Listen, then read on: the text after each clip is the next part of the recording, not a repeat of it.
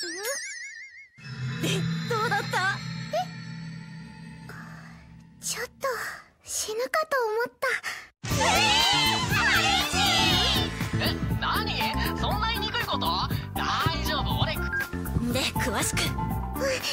ドキドキしすぎて心臓壊れちゃうかと思った。初めてだったし。ずっと外だったし。外？でも竹雄くんだから安心できた